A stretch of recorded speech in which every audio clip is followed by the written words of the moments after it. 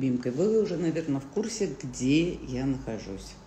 И понимаете, я не могла уехать и оставить вас без присмотра. Поэтому а, я там, находясь, а, буду работать с вами. И я не могу пропустить нашу планетарную проходную, ну, либо, как вам привычнее, коридор затмений, без нашей работы. В этот раз у нас будет несколько иначе. Вы знаете, что я разделяю Новолуние – это мое родное. Вот, коридор затмений – это другая работа. И полнолуние – это уже третья работа.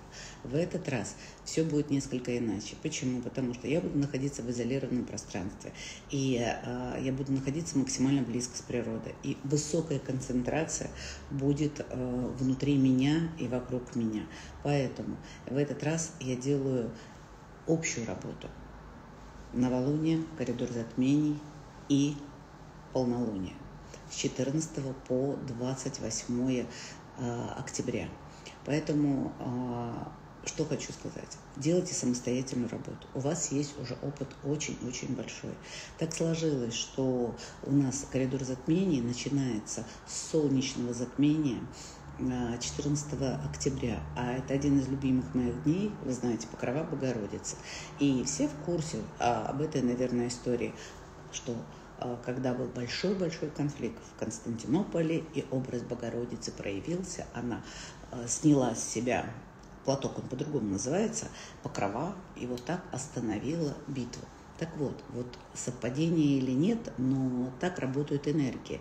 Вот высокая степень напряжения идет, где нужно научиться правильно выстраивать конфликт, это, это, избегать конфликтов, правильно решать вопросы с партнерами.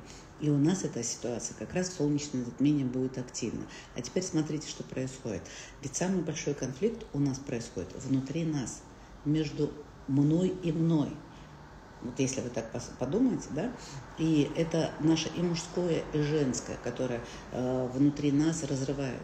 Хочу быстрых перемен, все надоело, хочу разрушить. Вот это, кстати, дает энергию солнечного затмения. Я хочу что-то новое, а другое, «А, куда ты лезешь, а что будет, а если новое будет хуже, чем э, то, что мы имеем сейчас. И, кстати, э, вот энергия перемен, все, закончить и начать новое, оно будет сильнее, чем энергия торможения. Но мы прекрасно понимаем и знаем, что помимо того, что всегда два раза в год существуют эти коридоры затмений, планеты между собой, они немножко меняются. Они же гуляют в разные стороны, в разные места ходят. Так вот, у нас есть такие планетки, которые Сатурн, например, он еще ретроградный, то есть он немножко назад нас обращает, и все-таки в этот коридор затмений, в этот концентрированный момент э, больших энергий, он говорит, так, я на последнем издохе.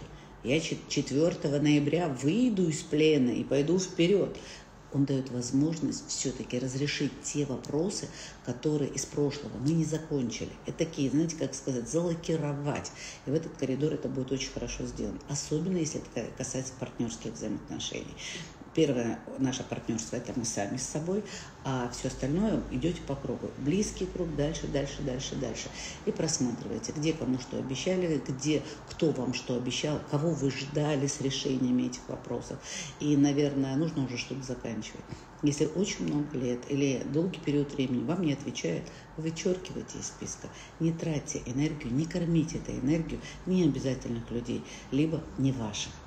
Вот такое у нас будет новолуние а, с солнечным затмением 14 числа под покровами Богородицы. Вот, следующий. Вот весь этот коридор затмения еще в этот период времени. Почему у нас будет такое шатковалка, немножко напряженная. Статейку я вам дайджест астрологически подготовила. Он уже есть, я думаю. Вот. А что будет происходить? У нас же еще и Нептун назад да, идет. А это планета, которая дает нам кучу сомнений, э, кучу того, что надо помолиться, надо думать, моя интуиция. А мы же помним, пока оно назад идет, вот это наше, как я говорю, э, нептунианское растление, вот Нептун пока в ретрограде, то все наши состояния могут быть ошибочные, особенно интуитивно-духовные. Поэтому мы можем не доверять партнеров, мы можем самообманываться. Мало того, мы будем слышать очень много лживой информации. Но, кстати, среди лживой информации мы можем узнать и слухи, сплетни, разговоры мы можем увидеть тех людей, которые этим живут и наслаждаются.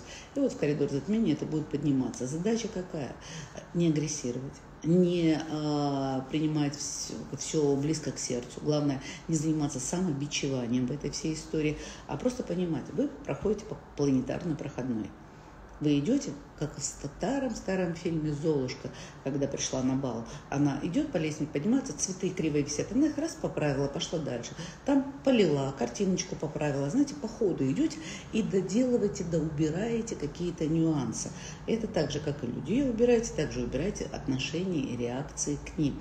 Наши реакции самые важные, самые ценные. Именно в этот момент времени мы отдаем просто бесплатно свою энергию, которая очень сложно восполняется. Таким образом, мы доходим до полнолуния 28 октября. Его еще называют охотничьим полнолунием. Вы знаете, полнолуние очень много названий разного рода. То вот это полнолуние само по себе, оно такое, которое э, там у нас будет лунное затмение, на лунное затмение у нас всегда на полную луну, знаете, эмоциональные какие-то а, вот такие вот пертурбации происходят. С учетом Нептун тоже он эмоциональный у нас, может дать нам неправильное эмоциональное решение.